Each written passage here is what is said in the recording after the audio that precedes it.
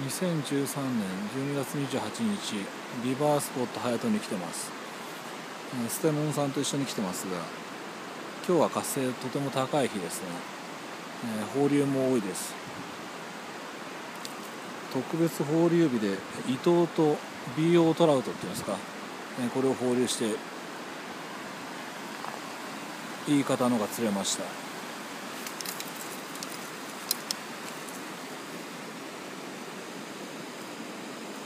これが BO トラウトっていうんですかね。ちょっとよくわからないですが。ちょっと見たことないような魚です。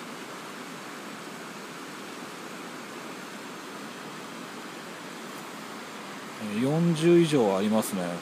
いいサイズです。えちょっと食べてみようと思って持ち帰ります。